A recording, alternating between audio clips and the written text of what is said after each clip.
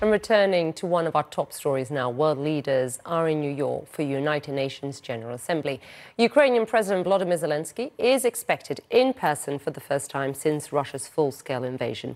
He'll try to rally support for more advanced weapons as well as more ammunition. He'll look to his allies like Estonia. As a percentage of its GDP, as you can see there, Estonia is one of the top providers for Ukraine. Estonia's president says primary focus for the UNGA is on continued support for Ukraine, as well as arguing for reform on veto rights in the face of Russia's war. And joining us now live is Estonian President Alar Karis. Mr. President, thank you very much for taking the time to speak to us this evening. Uh, we know you're addressing the UNGA uh, on Wednesday. What exactly will be your message to leaders in New York and beyond, sir? It's going to be actually two, uh, two messages. One is, of course, uh, the war in Ukraine and all about the war in Ukraine. And actually, the second one is related to the war in Ukraine, which is uh, um, we have to reform uh, United Nations uh, Security Council because there are veto for some number of countries and especially from Russia. So we can't proceed from here if there is a veto procedure in uh, Security Council. So you're on that. Let's start on that second point then. The, the, calling for the need to reform the UN Security Council. I'm guessing in order to remove voting rights from certain countries, in particular aggressor states. How successful do you think you'll be, Mr. President, on that front? I understand, we said, there, are, there have been several attempts already from, from the beginning of the 90s. And uh, it's not only a veto issue, but uh, um, UN has changed. If you look at look back, I mean, the UN UN started in uh, in in 40s, 1940s. There were only 50 something members. Now there are 193. That means the situation has changed, and also probably we need more members also in uh, United Nations Security Council. So now the question is, who is going to be? That's a, that's an argument and this is a discussion point. And uh, I, am sure questions will be raised and asked about Russia, and I'm sure you'll tell me this. And, and if that is the case, I'm keen to get your thoughts here, Mr. President, on the recent relationship or alliance, if you want to call it that, that we have seen play out in the last week between North Korea and Russia. If there is some sort of arms deal or military agreement between Mr. Putin and Kim Jong un, what should be the response? Okay, we should very, be very careful. I mean, what's going on, especially with uh, these countries like North Korea and, and so forth. I mean, the military presence and military ammunition that these countries have, including nuclear weapons, are, are worrying, of course. So uh, this is also part of uh, United Nations to make sure that these kinds of conflicts, like now we have in Ukraine, won't happen. And if they happen, uh, I have to find a solution for these conflicts.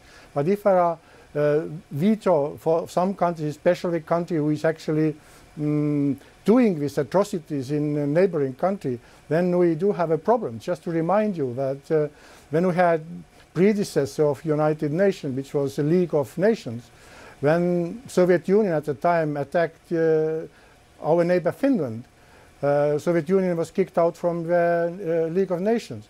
But now there is a Russia who is a member of a United Security Council. So are you saying if there is some sort of deal between both sides that Russia should be kicked out? This question of kicking out, this question is, at this very moment is a question of veto. I mean, that means if there are atrocities or this, let's say that Russia is involved at least it should be abstained rather than uh, hmm. vetoing uh, the declarations or whatever is, is uh, going to be um, there. Yeah, and the veto it might not have enough votes for that veto.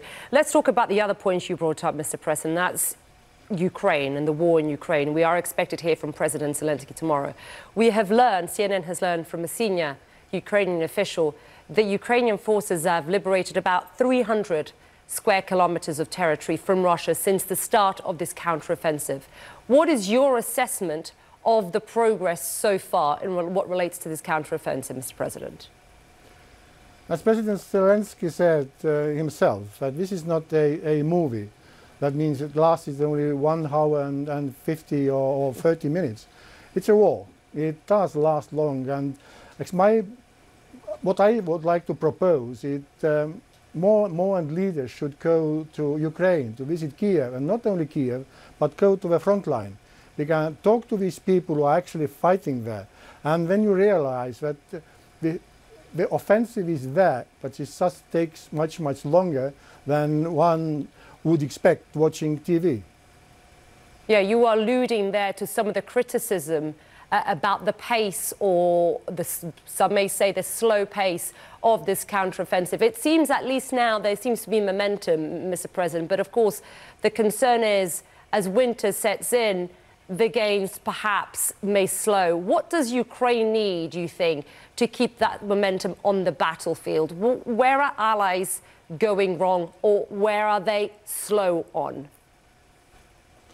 I mean, war is, as I mentioned, war is a war and it's uh, difficult to um, speculate what's going to happen next. But we see already today that there is uh, some kind of offense which has been successful and, uh, and what we have to do is just to keep supporting Ukraine, military, humanitarily, also start to rebuild Ukraine, which like Estonia is doing, uh, mm, starting to build a kindergarten in Ukraine. That means if, even if a war ends tomorrow, it still takes thousands of years to rebuild Ukraine, and it does cost money. Mm. Let me ask you this finally. I was reading a fascinating article by an interview, in fact, with the Estonia's outgoing spy chief.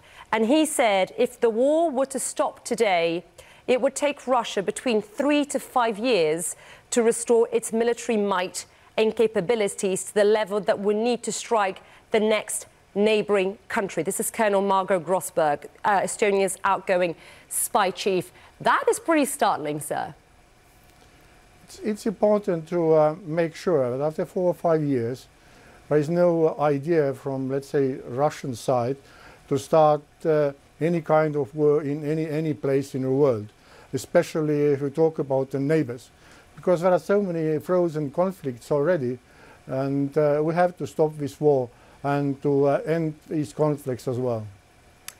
The Estonian President Karis. Mr. President, appreciate you taking time from your busy schedule to speak to us. Thank you, sir. Thank you very much.